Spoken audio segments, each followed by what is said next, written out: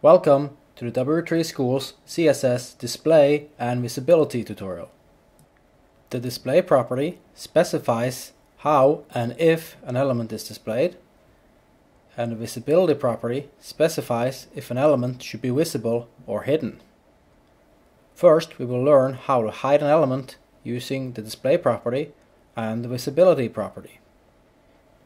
You can hide an element by setting the display property to none or the visibility property to hidden. However, these two methods produce different results. Setting the visibility property to hidden will hide an element, but will still take up the same space as before.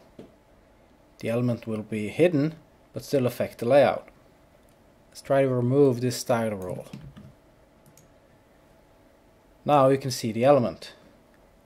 If we put the style rule back, you will notice that the content or text is gone, but the element still takes up the same space. Now if we set this property to display and the value to none, now the element is gone and it doesn't take any space. And the page is displayed as if the element is not there. Let's try to remove the style again. Now you see the element. And if we set display none, the page is displayed as if the element is not there. The display property can also be used to specify how an element is displayed. It can be displayed as a block element or an inline element.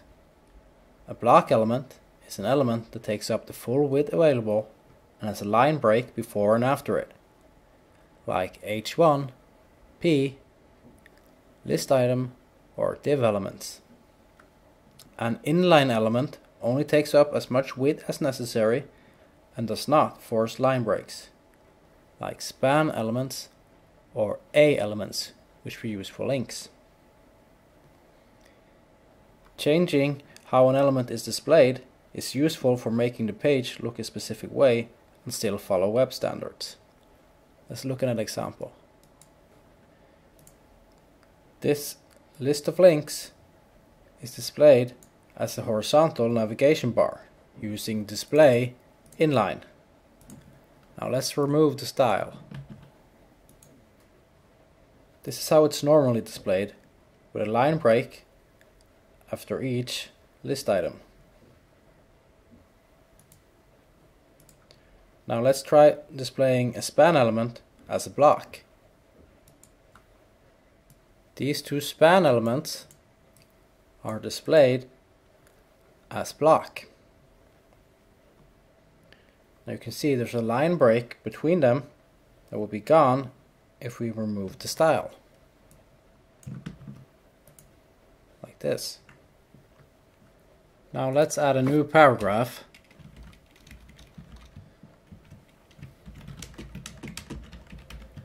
with a link in it.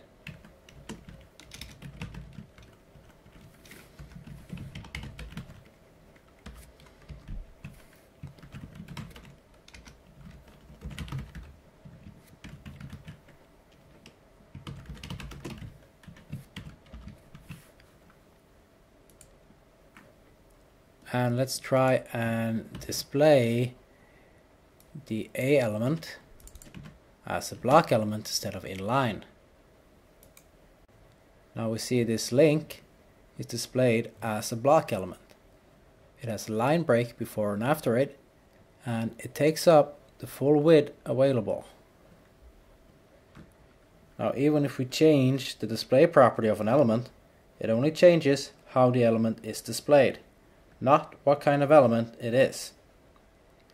So an inline element with display block is still not allowed to have other block elements inside of it. On the W3Schools tutorial page, there are more examples for display and visibility properties. This concludes our tutorial for CSS, display and visibility. Thank you for watching.